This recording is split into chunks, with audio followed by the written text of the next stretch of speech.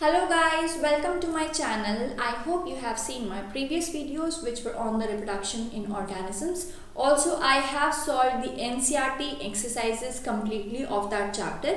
If you have not seen them yet, then please go and uh, see them because I have given a very detailed explanation in a very easy way and uh, so in this video I would be discussing about the sexual reproduction in flowering plants which is your second chapter of the NCERT textbook. And in this video I would be talking only about the male reproductive organs. Okay so let's start.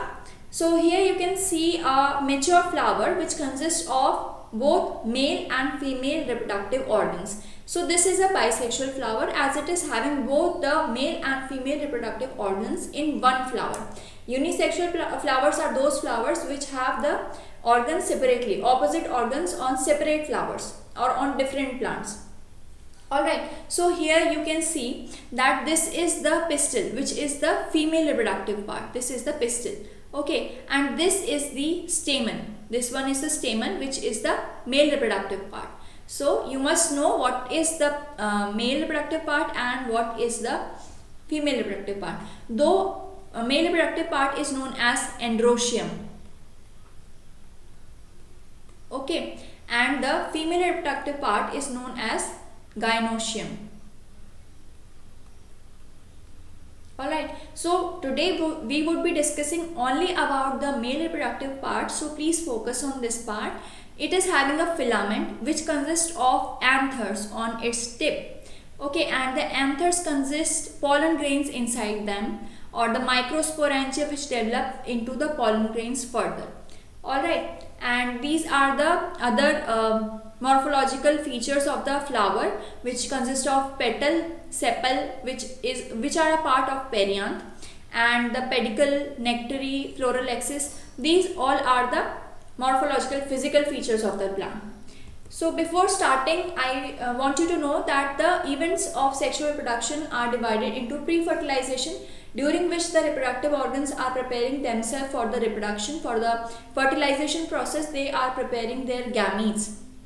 Then comes the fertilization when the gametes are coming together and fusing to form the zygote and during the post-fertilization process the zygote is developing into a embryo and properly whatever the development uh, events are occurring we will talk about them in the future videos. Now we will talk about the male reproductive organs which are known as androecium. The male reproductive part is known as androecium and it consists of stamen, anthers, microsporangia and pollen sac. So this is a, proper structure of a, a, a stamen which consists of anther on its tip. Now anther is a bilobed structure. It consists of two lobes. One is this one, second one is this one. And if we cut an anther transversely like this, then we could see this. It is a, uh, it is having two theca. This is one theca and this is other theca. So two theca are present in it. And inside those theca are present four microsporangia. This is the first one. This is the second one, third and this is the fourth one. These microsporangia are having longitudinally pollen sacs present inside them. So pollen sac are present inside the microsporangia longitudinally and inside the pollen sac are present the pollen grains which are these red bead like structures. Alright. Now microsporangia is a, uh, having a circular structure and is covered by four layers. So these four layers are epidermis and endothecium. These both have the uh, protection purpose. Their purpose is protection. They are protecting the microsporangium. Middle layer consists of sporogenous tissue. These sporogenous tissue are microspore mother cell okay, they are potential pollen which will develop into the pollen grains. Potential pollen इसलिए कहा जाता है क्योंकि उनके अंदर potential होता है pollen grain में develop करने का। अब जो टेप्टम है, उसका काम क्या है? माइक्रोस्पोरेंजिया को नरिश करना। माइक्रोस्पोरेंजियम जो प्रेजेंट है, जो कि आगे जाके पॉलन में डेवलप होंगी, उनको नरिशमेंट देने का काम है टेपटम का। All right and this is the structure of the microsporangium जिसके अंदर एपिडर्मिस है एंडोथीशियम है स्पोरोजिनस टिश्यू है और ये टेपटम है। ओके okay, सो so हमने इनका फ़ंक्शन पढ़ लिया है पहले। और यहाँ पे देखते हैं जो रेड स्ट्रक्चर्स हैं ये रेड सेल्स हैं ये माइक्रोस्पोर मदर मदर सेल्स हैं जो कि स्पोरोजीनियस टिश्यू के अंदर प्रेजेंट है। ये माइक्रोस्पोर मदर सेल्स क्या करेंगी? मियोसिस अंडरगो करेंगी। हमने देखा था पहली वाली वीडियोस में कि जो भी गैमीट मदर सेल है जो भी गैमिट मदर सेल होगी, वो गैमिट फॉर्म करने के लिए रिडक्शनल डिवीज़न करेगी, जिसको बोलते हैं meiosis and it will form here it will form a microspore tetrad this is a microspore tetrad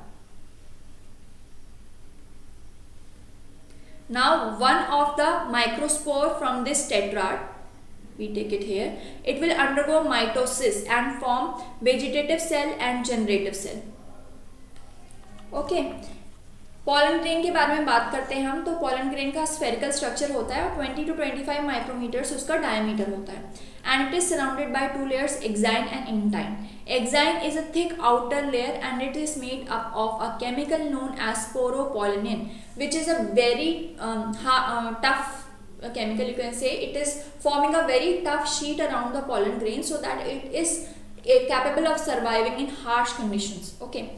Harshest of the conditions. And this sporopollenin this covering of sporopollenin is having a uh, opening which is known as germ pore. And germ pore is the opening from where the pollen grain will be germinating when it reaches the female reproductive part called stigma which is a sticky place where the pollen grain will go and stick and from there it will germinate through the style and reach the ovary and will deposit the male gametes. The inner layer is the intine which is a thick one and it is made of cellulose and pectin. So this is basically the intine and outer layer is the exine and it is having a germ pore this is the suppose this is the germ pore so this uh, you can see the green spiky structure is of the sporopollen here yellow structure. This spiky structure is of the sporopollen now after the pollen grains mature they uh, are having two cells vegetative and generative cells. We have seen the microspore or the pollen grain is also known as the microspore now this microspore after mitosis, after mitosis will uh, have vegetative and generative cell. Vegetative cell is bigger, have abundant food reserve and has an irregular nucleus whereas the generative cell is small, spindle shaped with dense cytoplasm in which its nucleus is floating. So here you can see that this is the microspore mother cell which is diploid. It will undergo meiosis and form a microspore tetrad which will be having haploid cells and one of the microspore will undergo mitosis and will form a vegetative cell and a generative cell. So this is the generative cell and this is the vegetative cell. Now the generative cell will undergo mitosis again and will form two male gametes which are the sperm cells. So some of the pollen grains are shed at this two cell stage and some are shed at three cell stage. If the pollen grain is uh, shed at two cell stage, the mitosis will occur when it will germinate and will be uh, forming a pollen tube through the stick, uh, style. Okay, at that time it will uh, have the mitosis and will form the male gametes. Now the pollen grains can remain viable for different periods of time depending upon their environment, the temperature and humidity. And in most of the species especially the extinct also but today these days mostly the pollen grains of the plants are being uh, preserved so that uh, if the species is going extinct then the pollen grains can be germinated and can um, be used to increase the number of that species. So pollen grains are being stored in liquid nitrogen at minus 196 degrees Celsius and this type of um, preservation technique allows the pollen grains to stay viable for thousands of years. Okay. So I hope I am clear about the male reproductive organ and the process of um, pollen grain production and how the microsporogenesis is happening. So uh, if you like this video then please hit the like and subscribe to my channel and press the bell icon because I would be posting videos every day.